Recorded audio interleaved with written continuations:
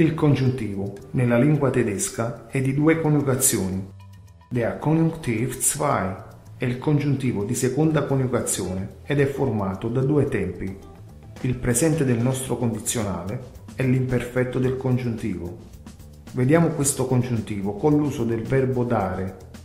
Il presente del condizionale io darei, tu daresti, lui darebbe, eccetera l'imperfetto del congiuntivo, che io dessi, oppure se io dessi, che tu dessi, oppure se tu dessi, eccetera.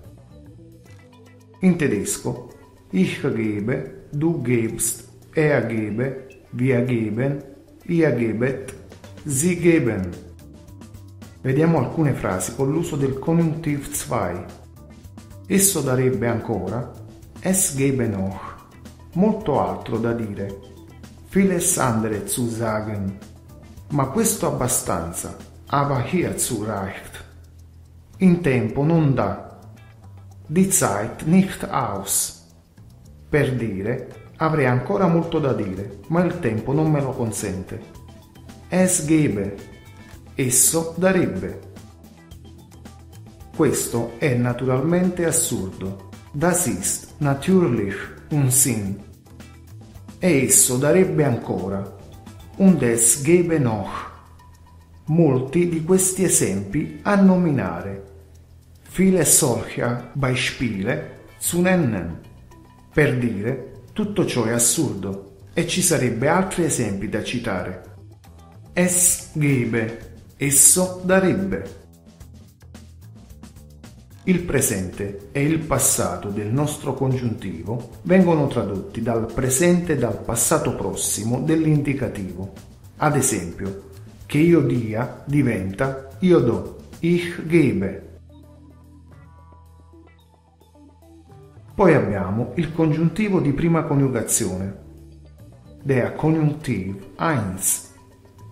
Questo congiuntivo è simile al Konjunktiv 2 ma viene usato raramente nella lingua parlata. Si usa invece spesso negli articoli di giornale. Vi faccio un esempio. Lui disse, e a sagte. Esso desse un'opzione. Es gebe eine Möglichkeit. Questo ha cambiamento. Das zu ändern. Per dire disse che ci sarebbe stato un modo per cambiare. E questo è quanto. Vi faccio un riepilogo. In tedesco il congiuntivo di seconda coniugazione corrisponde in italiano al presente e al passato del condizionale e all'imperfetto e al trapassato del congiuntivo. Poi per quanto riguarda il presente e il passato del congiuntivo viene tradotto dal presente e dal passato dell'indicativo Rispetto all'italiano, la lingua tedesca ha due congiuntivi. Oltre al congiuntivo di seconda coniugazione ha anche il congiuntivo di prima coniugazione. Questo però viene raramente usato nella lingua parlata, ma si usa molto spesso negli articoli di giornale.